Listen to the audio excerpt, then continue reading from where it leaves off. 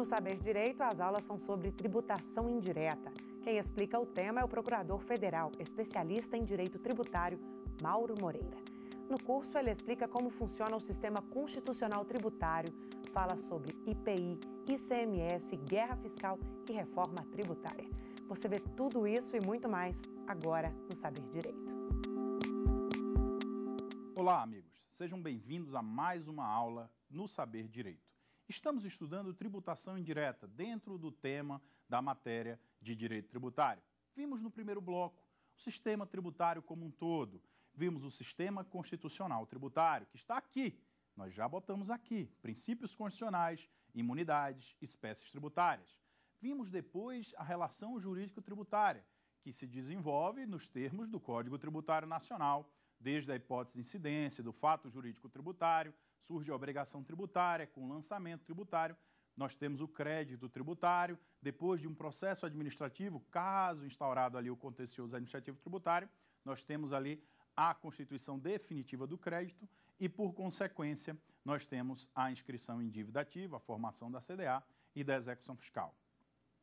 Na primeira aula, então, tivemos uma visão geral, aspecto constitucional, aspecto do Código Tributário, botamos o processo judicial tributário aqui e botamos a regra matriz de incidência tributária, neste quadrante aqui do nosso quadro virtual.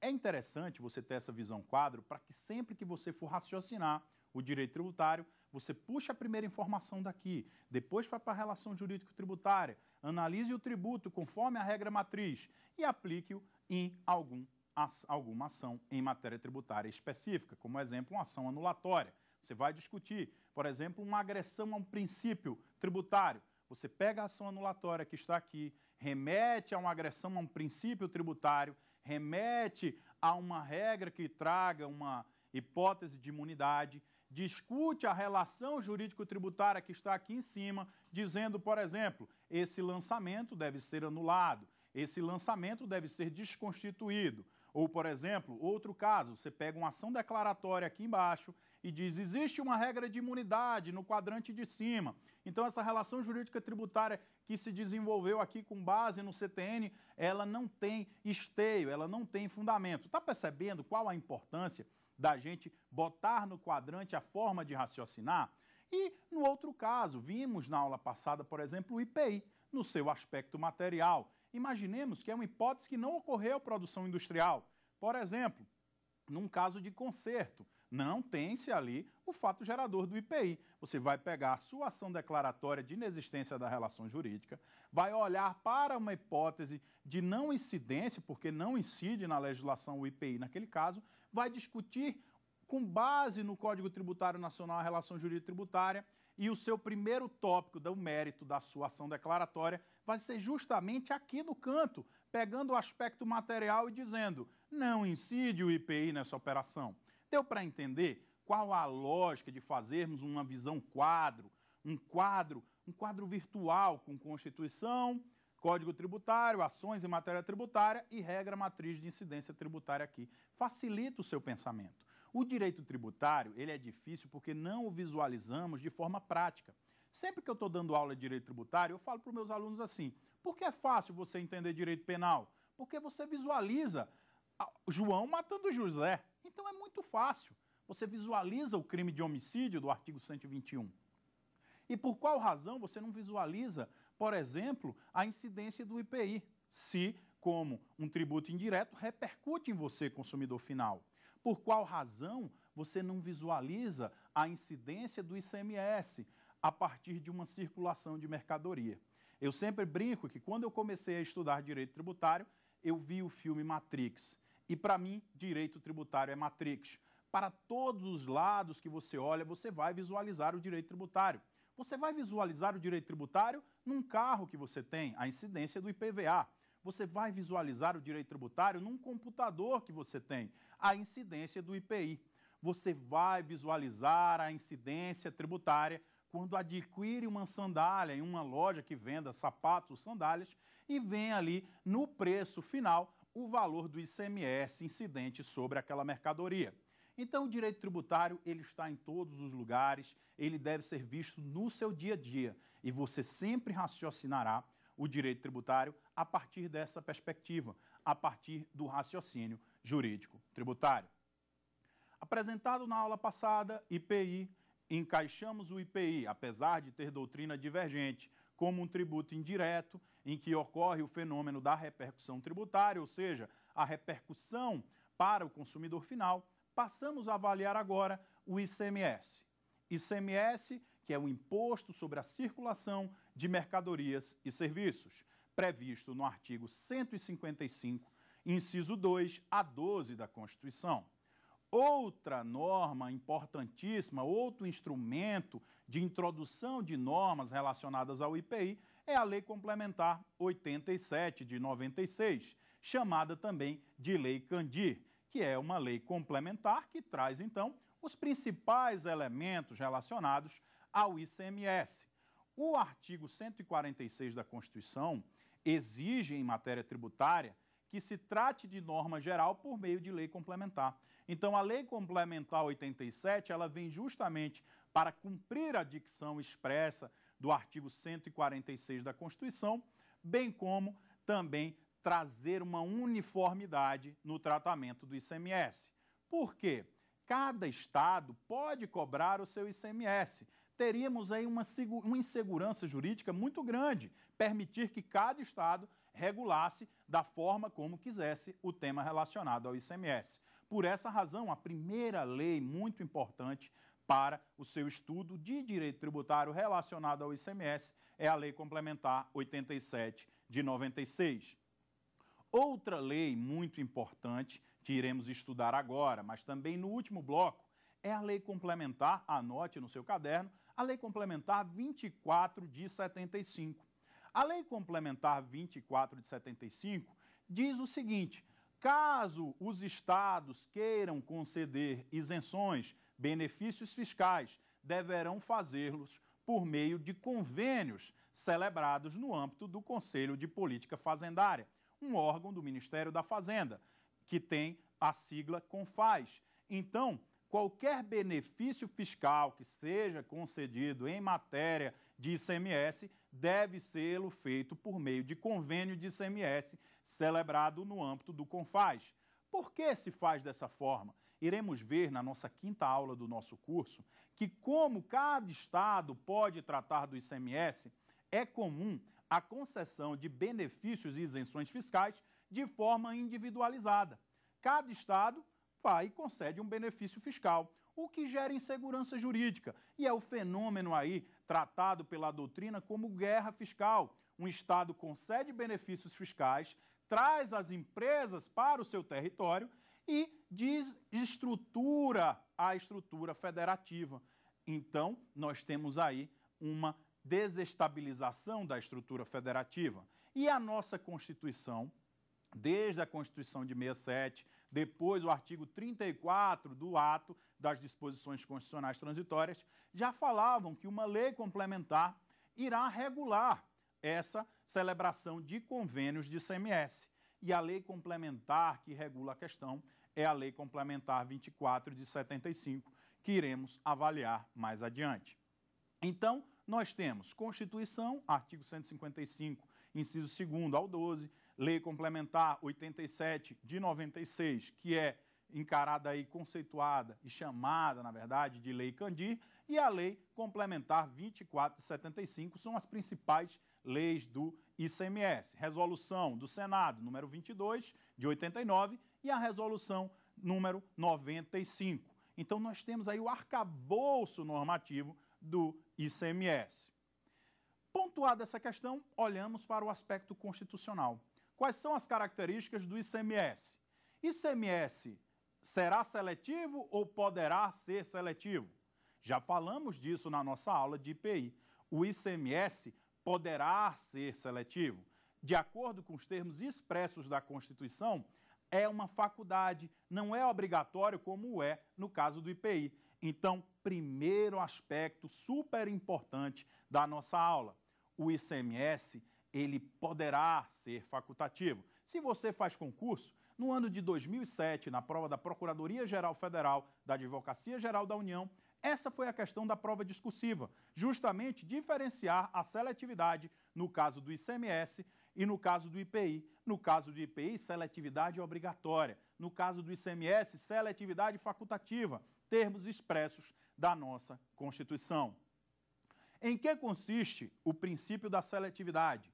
Princípio da seletividade é justamente equilibrar de acordo com a essencialidade do produto você tem aí uma ordem inversa. Quanto mais essencial o produto, menor a alíquota. Quanto menos essencial o produto, maior a alíquota. Certo? Este é o princípio da seletividade. Lembram do exemplo? Gênero alimentício e um cigarro. O cigarro é menos essencial. O Estado quer, de certa forma, desestimular o seu consumo. Por outro lado, quer estimular e ter, possibilitar aí o acesso à alimentação. Então, o princípio da seletividade se apresenta dessa forma. É interessante que você, em direito tributário, seja bem técnico. Quando for questionado sobre o princípio da seletividade, pode trazer o seguinte conceito: é uma técnica de tributação que tributa de forma mais onerosa os produtos menos essenciais e tributa de forma menos onerosa os tributos essenciais, os menos essenciais. Deve-se diferenciar a seletividade da técnica da progressividade. Lembram quando eu falei de princípio da capacidade contributiva? A Constituição, ela começa tratando da isonomia, igualdade, igualdade, isonomia fiscal. Como corolário da isonomia fiscal, nós temos o princípio da capacidade contributiva, que a Constituição diz que aplica-se apenas a impostos, mas o Supremo Tribunal Federal já fixou que se aplica a outras espécies tributárias. Depois, houve uma discussão no âmbito do Supremo se a capacidade contributiva e a progressividade aplicar-se-ia a impostos apenas pessoais ou a também os impostos reais. E chegou-se ao entendimento, num leading case que tratava do ITCMD, da possibilidade de aplicação do princípio da progressividade também a impostos reais. Impostos reais vinculados a uma coisa, impostos pessoais vinculados a uma pessoa, por exemplo, imposto de renda, sempre teve a aplicação da técnica da progressividade. Por outro lado, o ITCMD, o IPTU, o ITBI sempre tiveram vedada a sua aplicação no caso da progressividade. Só que neste julgado, o Supremo passou a entender que o ITCMD tem a possibilidade de aplicação de alíquotas progressivas. Como exemplo, imaginemos uma herança de um milhão de reais, alíquota 4%. Uma herança de 2 milhões de reais, alíquota 6%. Uma herança de 10 milhões de reais, alíquota de 8%, que é o limite máximo permitido na atual conjuntura do nosso ordenamento jurídico. Então, para o Supremo Tribunal Federal, é possível a progressividade nos casos de impostos reais. Explicado o que é progressividade, nós temos que fazer a distinção. Seletividade é técnica de tributação e progressividade também. Progressividade está relacionada a maior a base de cálculo, aumenta a alíquota. Por exemplo, imposto de renda, que tem várias faixas. No caso da seletividade é diferente. É quanto mais essencial o produto, menor a alíquota. Quanto menos essencial o produto, maior a alíquota, o exemplo de gêneros alimentícios e cigarros. Então a primeira coisa que você deve fazer é a diferenciação entre seletividade e progressividade, porque você deve ser técnico. Segunda característica do ICMS, não cumulatividade. Já estudamos a não cumulatividade no que tange ao IPI. A não cumulatividade no que tange ao IPI tem a mesma lógica do ICMS. E o ICMS ainda tem dicção expressa relacionada à não aplicação da não cumulatividade caso a primeira operação não seja tributada ou seja isenta, certo? Então, qual é a lógica da não cumulatividade? Compensar-se-á o que foi pago na primeira operação na segunda operação. Essa compensação que eu diferenciei da compensação como forma de extinção do crédito. Então, a não cumulatividade aplica-se também ao ICMS. E no ICMS, diferentemente do IPI, a dicção expressa no sentido de que, se a primeira operação é imune ou é isenta, no caso da previsão constitucional trata de isenção, não gera crédito para a próxima operação, anula-se o crédito. Não houve pagamento de tributo na primeira operação. Então, contabilmente, também não há possibilidade de gerar-se crédito para compensar-se na próxima operação. Então, fixando o conhecimento, aplica-se a não cumulatividade ao ICMS? Aplica-se a não cumulatividade ao ICMS. Qual é a lógica da não cumulatividade? Pagou o tributo na primeira operação, compensa-se na segunda operação, gera-se um crédito, ou seja, um pagamento gera um crédito que contabilmente deve ser compensado na próxima operação. Por dicção expressa da Constituição, caso não haja o pagamento do tributo na primeira operação, como por exemplo num caso de isenção, você não abre ensejo a compensação na segunda operação, porque a dicção expressa no artigo 155, parágrafo 2 inciso 2 da Constituição neste sentido. Entendidas essas questões, aspectos constitucionais do ICMS, seletividade, facultativa, não cumulatividade, passo agora a pergunta para os nossos alunos, para que demos continuidade à nossa aula. Queria saber em que momento ocorre o fato gerador no caso da importação. Como tínhamos visto quando estudamos o IPI, o ICMS, assim como o IPI, é um tributo que incide na operação de importação não é um tributo, na essência, sobre o comércio exterior, mas é um tributo interno que incide nas operações de importação. Como vimos na aula de IPI, além do imposto de importação, incidem na importação o IPI, o ICMS, o PIS e a COFINS importação, taxa Siscomex, adicional de frete para a renovação da marinha mercante, entre outras despesas e encargos. Então, o ICMS tem como um dos seus fatos geradores a importação de produto estrangeiro. O ICMS, então, incide na operação de importação. É o primeiro aspecto material do ICMS, importação de produtos estrangeiros. Em que momento incide esse ICMS? Em qual momento ocorre o fato gerador? Qual pergunta nos fazemos? Quando? Quando se pergunta em qual momento ou quando ocorreu o fato gerador, estamos falando de aspecto temporal. O ICMS, no caso da importação, tem como seu aspecto material a importação e o aspecto temporal o momento do desembaraço aduaneiro. Então, se você imaginar a importação de um produto que entre pelo Porto de Santos, o desembaraço aduaneiro ocorrerá no Porto de Santos. E, posteriormente, imaginemos que essa mercadoria seja destinada ao Distrito Federal. Onde ocorreu o fato gerador do ICMS é a primeira pergunta. E a resposta para esta pergunta é que o aspecto temporal do ICMS ocorre no momento do desembaraço aduaneiro. Mas entrou a mercadoria pelo Porto de Santos e posteriormente foi destinada a um estabelecimento empresarial situado no Distrito Federal. Para quem iremos recolher esse ICMS? Então, passamos do aspecto material, importação de mercadoria estrangeira, passamos para o aspecto temporal, ocorrência do fato gerador no momento do desembaraço aduaneiro. E para quem iremos recolher o ICMS nesse caso? Para o estado de São Paulo, onde entrou a mercadoria e ocorreu o fato gerador?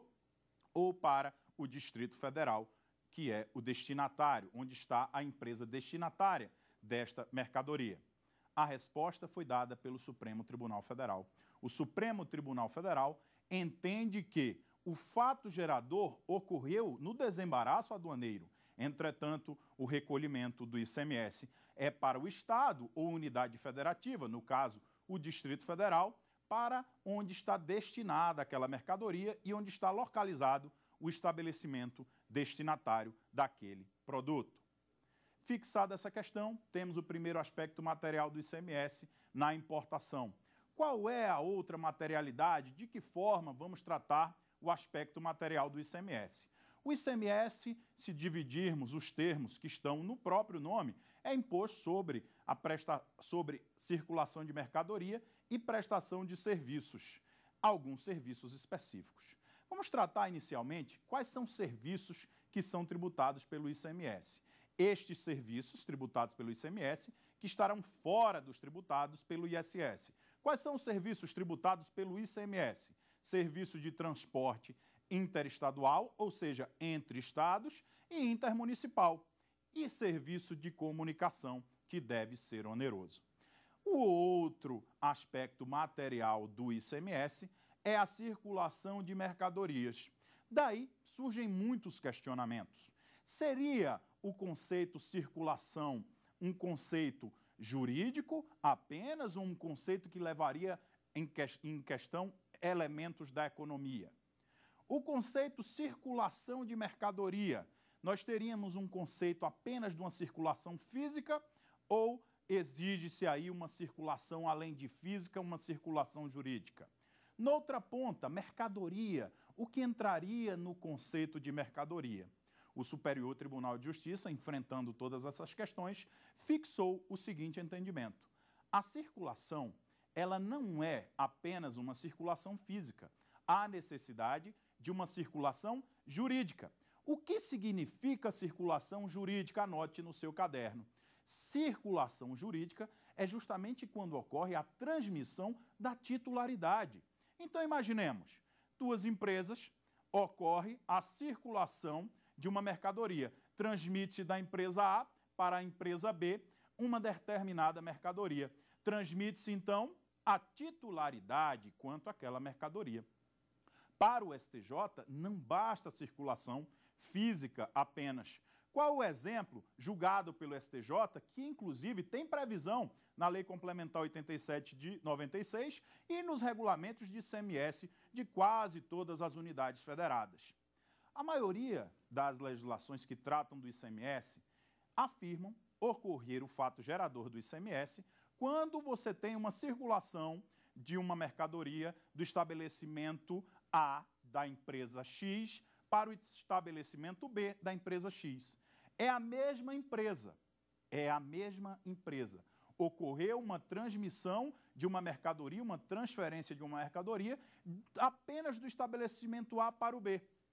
Nos termos do entendimento do STJ, o que você acha que o STJ entende sobre essa questão? Ocorre o fato gerador do ICMS ou não? O entendimento do STJ e também sumulado do STF é que quando você tem uma transmissão apenas física do estabelecimento A, da empresa X, empresa alfa, para o estabelecimento B da mesma empresa, você não tem aí circulação da mercadoria. Por quê? Você tem apenas a circulação econômica, não tem a circulação jurídica, e no entendimento do Superior Tribunal de Justiça, há necessidade de circulação jurídica. Circulação jurídica que deve ser entendida como a transmissão daquela propriedade. Há um fundamento que é muito utilizado pelos nossos tribunais superiores, o artigo 109 e 110 do Código Tributário Nacional. Se formos perceber em diversos julgados do Superior Tribunal de Justiça, bem como do Supremo Tribunal Federal, há esse fundamento. E o que nos diz o artigo 109 e 110 do Código Tributário Nacional? O artigo 109 e 110 do Código Tributário Nacional dizem uma coisa que parece óbvia. Entretanto, nós precisamos entender qual é o real sentido destes dois dispositivos do Código Tributário Nacional. O artigo 109 e 110, basicamente, eles trazem a seguinte ideia: institutos de direito privado, conceitos de direito privado, serão dados pelo direito privado. Não entendeu? Vou te explicar. Propriedade, você acha que é um conceito de direito civil ou é um conceito de direito tributário? Propriedade é um conceito de direito civil. Assim como alienação fiduciária é um conceito de direito civil, direito empresarial. Assim como leasing é um conceito de direito empresarial, é um contrato mercantil. Quando o direito tributário olhar para esses institutos no mundo concreto, isso com base também nos ensinamentos do professor José Eduardo Soares de Mello, quando o direito tributário olhar para um negócio jurídico. Porque não se engane, o direito tributário, ele tem seus efeitos, mas ele é aplicado a negócios jurídicos que são celebrados no mundo real. Por exemplo, uma compra e venda, uma alienação fiduciária. São esses negócios jurídicos para os quais o direito tributário vira seu olhar. Quem é que dá o conceito de direito privado? Quem é que me traz o conceito de leasing, de alienação fiduciária, de compra e venda, de propriedade, é o direito privado, é o direito civil, é o direito empresarial. O direito tributário pode modificar esses conceitos? Não, não pode. A jurisprudência do STJ e do STF, baseada aí no entendimento doutrinário, visualizam e percebem, com a aplicação do 109 e do 110 do Código Tributário Nacional, que não é permitido ao direito tributário alterar conceitos de direito privado, como o exemplo da circulação. Não é possível a lei tributária dizer que ocorre uma circulação sem que tenha ocorrido a circulação jurídica. Para que ocorra a circulação jurídica, há necessidade de transmissão destes bens, dessas mercadorias, de um proprietário A, o alfa, para um proprietário beta, e não apenas do estabelecimento A para o B do mesmo proprietário. Então, fixe essa questão. Artigo 109 e 110. Institutos, conceitos de direito privado serão dados pelo direito privado. Já os efeitos tributários são conferidos pelo direito tributário. É essa a lógica básica. Então, conceito de propriedade. Propriedade, o conceito é de direito civil. Qual é o efeito tributário? Incidência do IPTU, caso a propriedade seja urbana. Outro conceito, compra e venda de bens imóveis. Há uma alienação de bens imóveis, uma compra e venda, um contrato oneroso, naturalmente você visualizará ali um negócio jurídico. Quem dá o conceito do direito privado, quem dá o conceito de compra e venda é o direito privado. O direito tributário não pode dizer, por exemplo, que uma doação é uma compra e venda. Então, se você tem uma compra e venda de um bem imóvel, qual tributo incidirá? Incide o ITBI, tributo municipal, o imposto sobre a transmissão de bens imóveis intervivos. Caso fosse uma doação, que é um conceito de direito civil, qual seria o tributo incidente? Incide o ITBI? Não, incidiria o ITCMD, que é o imposto sobre a transmissão causa-mortes e doação, que é um imposto estadual. Então, entendida essa questão, ela será muito importante para o deslinde na nossa sequência, para o estudo do ICMS. Eu disse a vocês que o entendimento do Superior Tribunal de Justiça é no sentido de que haja aí uma transferência da propriedade, uma transferência da titularidade daquela mercadoria. Pergunto a vocês, numa operação de integralização de capital, uma empresa pega uma mercadoria e vai integralizar o capital de uma sociedade, vai pegar 50% daquela mercadoria e vai dizer, olha, dá 50 mil reais, eu quero botar isso aqui naquela empresa, quero realizar uma operação societária, integralizar um capital. Vai incidir ICMS nessa operação? Não, pois não há uma circulação jurídica naquela situação. Vamos imaginar então uma integralização de capital no caso de um imóvel. Pegar um imóvel e transferir para a propriedade de uma sociedade empresária. É fato gerador do ICMS? Não, não é fato gerador do ICMS. Seria fato gerador do ITBI? Seria, seria fato gerador do ITBI integralizar o capital social de uma empresa. Entretanto, em termo expresso da nossa Constituição, há uma previsão de imunidade. Operações de integralização de capital, por meio da transferência de uma propriedade imobiliária, estão imunes, em regra, ao ITBI. Exceção que não se aplicará a imunidade se dá no caso de empresas adquirentes que já realizem atividades imobiliárias, compra e venda de imóveis não teria lógica. Você tem uma previsão de imunidade caso você, caso eu, vá integralizar o capital de uma empresa. Não teria lógica, por exemplo, o adquirente desse imóvel ser uma empresa incorporadora ou uma imobiliária. Então, a regra é, não incidirá o ITBI na integralização de capital. Entretanto, por uma razão de imunidade, não incidirá. Entretanto, caso essa empresa tenha como atividade preponderante 50% a mais da sua receita operacional vinculada à atividade de compra e venda de imóveis, incidirá o ITBI, não se gozará da imunidade. Vamos dar continuidade. Circulação jurídica, transferência de titularidade. Qual a outra característica do ICMS? Serviços de transporte interestadual e intermunicipal. Incide ICMS no serviço de transporte intramunicipal? Não, não incide. Se o serviço de transporte se deu nos limites do município, a incidência é do ISS, certo? Não há um conflito. No caso de tributos que incidem sobre o transporte municipal, o que você tem aí é o ISS. Outro serviço que incide o ICMS, o serviço de comunicação. Serviço de comunicação que deve ser oneroso, não pode ser de distribuição gratuita e livre. Serviço de comunicação, qual a característica para ter a incidência do ICMS? Serviço de comunicação seria, por exemplo, habilitação de celular é serviço de comunicação? Não, não é. Habilitação de celular, assim como serviço de provedor de acesso à internet, não são serviços de comunicação. São encarados aí, segundo o entendimento sumulado do STJ, como serviços de valor agregado. Por essa razão, não trazem aí a incidência do ICMS. O serviço de comunicação é a transmissão de dados, é a transmissão de elementos. Esse sim é o serviço de comunicação que, em regra, é tributado com a alíquota de 25% o ICMS incidente sobre o serviço de comunicação. Aspecto material, então, definido.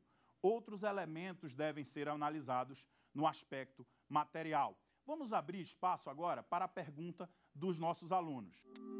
Como se dá a substituição tributária no ICMS? Substituição tributária é uma técnica de arrecadação. Anote no seu caderno. A substituição tributária, para parte da doutrina, é um instituto, um elemento à parte. Para a doutrina majoritária, se encaixa no conceito de responsabilidade tributária. Então, o primeiro elemento para entender a substituição tributária é definirmos responsabilidade tributária. Você lembra que no artigo 121, inciso 2, bem como o artigo 128 do CTN, define-se substituição tributária como um caso expresso na lei atribuindo responsabilidade tributária para um terceiro vinculado ao fato gerador. E traçamos aqui vários exemplos, como por exemplo no IPI, o transportador. Por outro lado, relacionando o tema ao ICMS, nós temos a substituição tributária. A responsabilidade tributária, então, para chegarmos até a substituição tributária, ela é dividida em dois grandes campos. O primeiro campo é a responsabilidade tributária por substituição, que para a doutrina majoritária deve ser anterior ao fato gerador. Por outro lado, a responsabilidade por transferência é um fato que ocorre depois do fato gerador. Citar um exemplo rápido: o tema de responsabilidade é extremamente complexo e amplo. Entretanto, citarei um exemplo de responsabilidade por transferência. Imaginemos, num caso de responsabilidade por transferência, que é diferente da responsabilidade por substituição, que João tinha um imóvel. Ele era o contribuinte do IPTU. João morreu. Quando João morreu, pelo princípio de Saizine, que é um princípio do direito civil, ocorre a sucessão imediata. Entretanto, ainda não foi partilhado bem. Surge a figura do espólio. Depois que o espólio é partilhado, surge a figura dos herdeiros. Neste momento que tem o espólio, que é o segundo momento, o espólio é responsável tributário pelos fatos geradores ocorridos até a morte. Noutra ponta, depois que ocorre a partilha, os herdeiros são responsáveis tributários por aqueles fatos geradores ocorridos anteriormente. A morte ocorreu antes ou depois do fato gerador? O fato gerador ocorreu no dia 1 de janeiro de 2016. No dia 5 do 5, João morreu. Então, a morte ocorreu depois. Então, a responsabilidade por transferência, como esse exemplo da responsabilidade por sucessão, ela se decorre de um fato posterior a ocorrência do fato gerador. Já na substituição tributária, a responsabilidade por substituição, que é anterior ou contemporânea ao fato gerador, há um fato anterior e há uma determinação da lei anterior. Nós temos aí, segundo a doutrina majoritária, duas formas de substituição tributária aplicada ao ICMS. A primeira, substituição tributária para trás ou regressiva. Anote no seu caderno. Substituição tributária para trás ou regressiva, bote o regressiva entre parênteses. Para o professor José Eduardo Soares de Mello, na minha opinião, o melhor autor em ICMS, existe também a substituição tributária concomitante, que ocorre ali concomitantemente ao fato gerador. Depois, nós temos a substituição tributária para frente ou progressiva. Para entender substituição tributária, tem a primeira visão. Isso eu sempre digo nas minhas aulas. Substituição tributária é técnica para facilitar a arrecadação. Então, ela é visualizada, ela é contemplada justamente para facilitar a arrecadação por meio do ICMS. Substituição tributária para trás, coloca o fato gerador antes do pagamento. Então, o fato gerador ocorre antes, pagamento depois. Exemplo: imagine vários produtores de leite estão produzindo, são 100 produtores, produzem laticínio, certo? Eles circulam a mercadoria. Eles circulam a mercadoria. Então, o fato gerador ocorreu antes, certo? Só que o pagamento, por uma disposição expressa da legislação tributária, o pagamento só deve ocorrer lá na indústria de laticínio. Então, a administração tributária olha para a operação e pensa o seguinte: é mais fácil fiscalizar 100 produtores de leite ou é mais fácil fiscalizar duas, três indústrias de laticínio? O que é que você me diz? Para onde a administração tributária vai focar o seu olhar? É claro que é para a indústria de laticínio. E aí, por uma previsão de substituição tributária, ainda que o fato gerador ocorra antes, ou seja, substituição tributária para trás, a fiscalização e a arrecadação se dará na indústria do laticínio. Ou seja, há um diferimento no pagamento. Anote no seu caderno o termo diferimento. Então, o pagamento só ocorre na indústria de laticínio, apesar do fato gerador ter ocorrido lá atrás. Essa é a famosa substituição tributária para trás. Fato gerador antes, pagamento depois.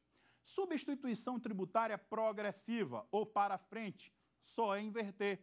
Você vai botar o pagamento antes e o fato gerador depois. Eu já disse a vocês que substituição tributária é uma técnica para facilitar a arrecadação.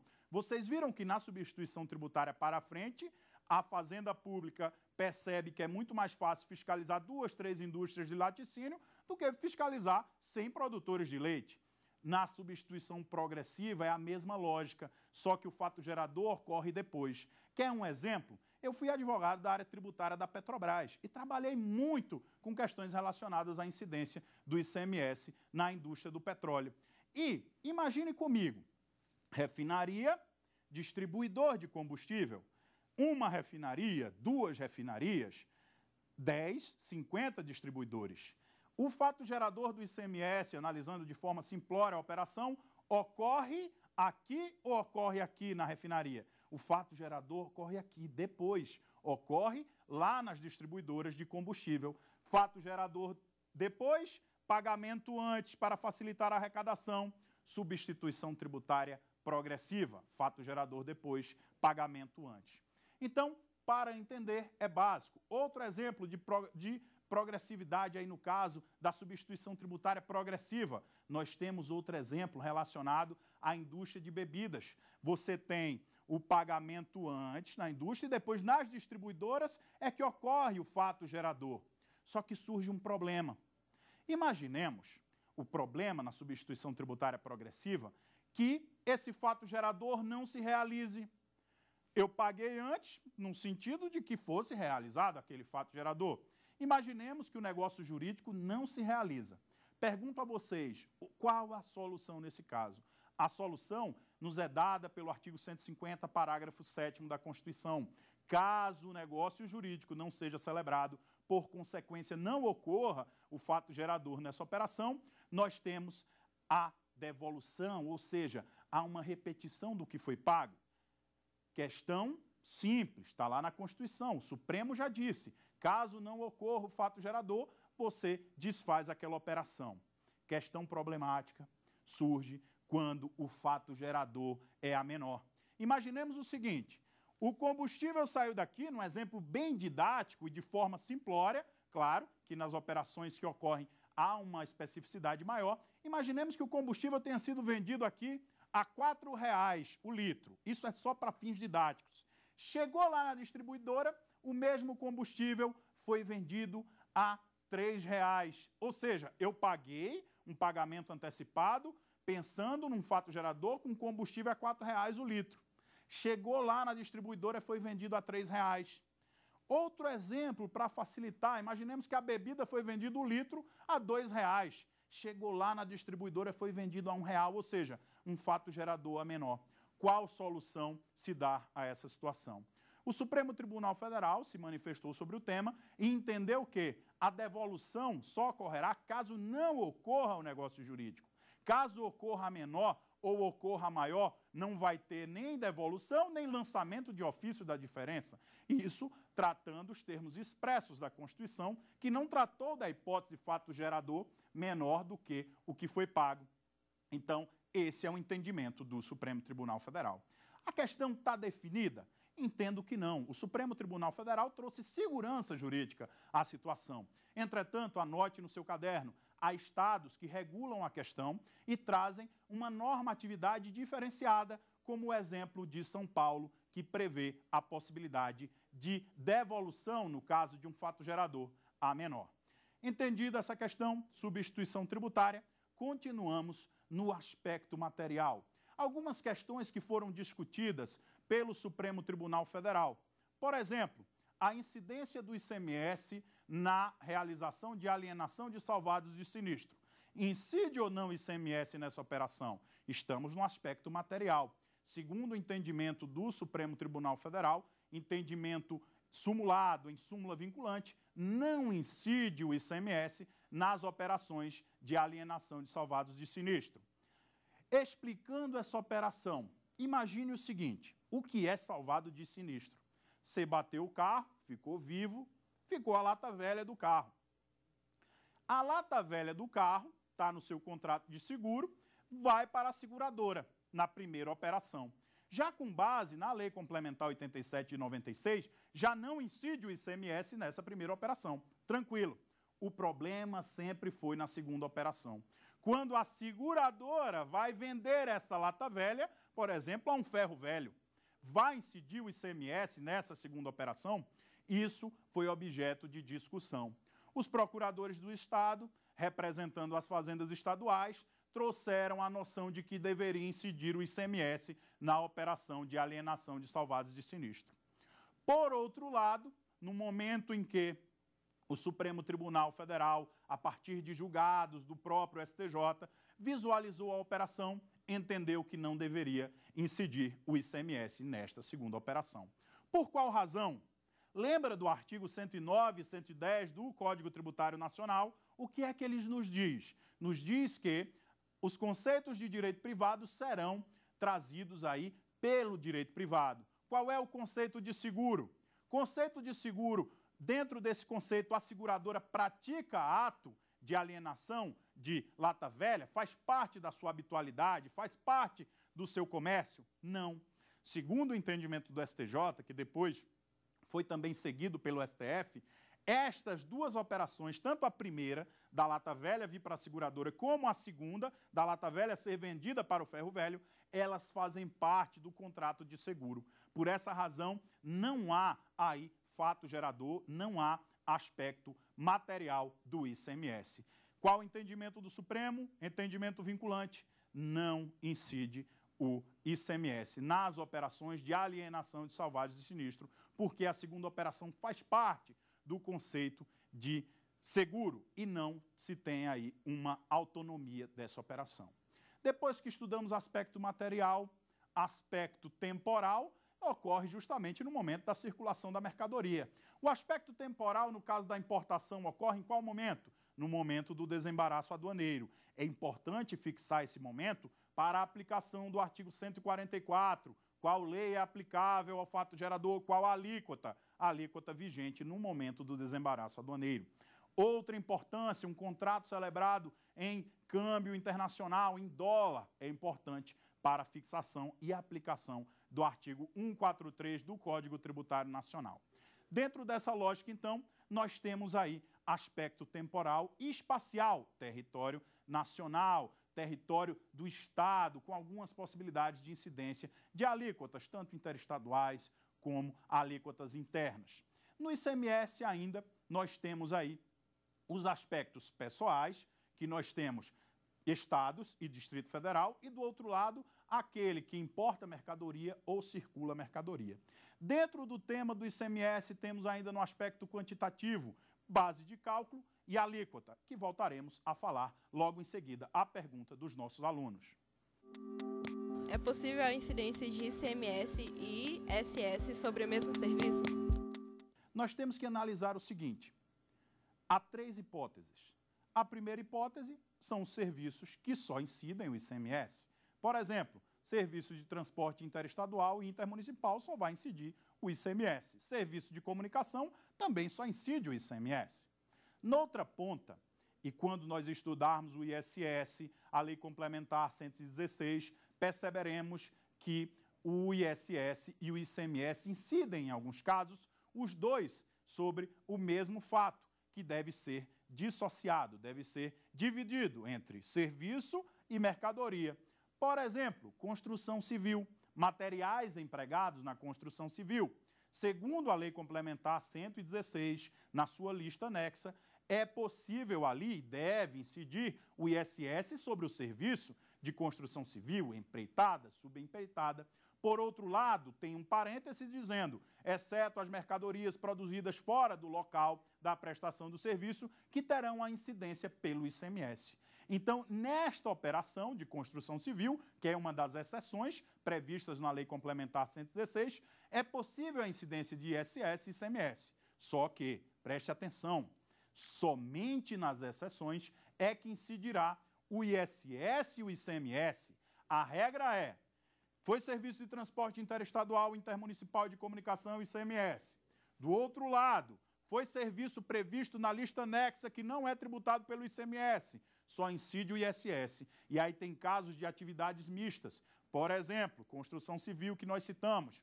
Outro exemplo, buffet. Buffet infantil. Você olha para uma operação, direito tributário é Matrix. Você vai lá para um aniversário de criança e olha, bebidas, coxinhas, pastéis, brigadeiros. Você imagina, o buffet é um serviço, mas a mercadoria, as bebidas, os alimentos são mercadoria, devem ser tributadas pelo ICMS. Então, incide o ISS sobre o serviço e incide o ICMS sobre as bebidas e alimentos. Uma questão super interessante, que está na Lei Complementar 116 e iremos falar, está relacionada aos alimentos em, em hotéis. Você vai para um resort, vai para um resort lá na beira da praia, lá na Bahia, e você chega no resort, o alimento, as bebidas estão inclusas no valor da diária. Caso as bebidas e as comidas estejam lá no all inclusive, você terá a incidência do ISS sobre todo aquele valor da operação. Por outro lado, caso aquela bebida não esteja inclusa e você pague por fora, incidirá ISS sobre o serviço do hotel e ICMS sobre as bebidas, sobre os alimentos. Um caso interessante também é da incidência do ICMS, entendimento simulado do STJ, dois entendimentos, súmula 162 e súmula 163 do STJ. Por exemplo, bares e restaurantes. Você tem serviço e tem circulação de mercadoria. Qual tributo incidirá? Segundo o entendimento sumulado do STJ, o tributo que incidirá é o ICMS, certo? Sobre o valor da operação. Por outro lado, ainda nessa toada, um serviço de composição gráfica. O que é que você imagina? Serviço de composição gráfica goza da imunidade cultural de livros? Não. Aquela é uma imunidade objetiva, é do livro. Serviço de composição gráfica paga tributo. E qual é esse tributo? Porque você tem mercadoria e tem serviço. O tributo que você paga é o ISS, Serviço de Composição Gráfica, tem a incidência do ISS. Como percebemos, analisamos aí a regra matriz do ICMS. Voltaremos a analisar o ICMS quando voltarmos no quinto bloco. Só que você começa a perceber os conflitos confederativos existentes, ou seja, situações em que há incidência de ICMS e ISS ao mesmo tempo, situações em que vai incidir o ISS no serviço e o ICMS na mercadoria. Isso é marca característica da complexidade do nosso ordenamento jurídico tributário. E é por essa razão que, quando se estuda tributação indireta, deve-se prestar muita atenção. Prestar muita atenção nesta complexidade, nessa tributação multifásica, vários tributos incidindo sobre a mesma operação, linhas, linhas tênues de quando incidirá um tributo e incidirá outro. No próximo bloco, a gente volta com o ISS e, por fim, no último bloco, iremos falar de guerra fiscal, iremos falar de convênios de CMS e iremos falar de reforma tributária. Esse tema é muito instigante e muito interessante e sempre atual. A nossa República precisa de uma reforma tributária? Mas como iremos fazer esta reforma tributária? Na próxima aula, voltaremos com um tema relacionado ao imposto sobre serviços de qualquer natureza, que está previsto na Lei Complementar 116 e também no artigo 9, parágrafo 1 e 3 do Decreto-Lei 406 de 68. Um abraço e até a próxima aula. Ficou com dúvidas? Então mande um e-mail para saberdireito.stf.jus.br. E você também pode estudar pela internet acessando o site tvjustiça.jus.br.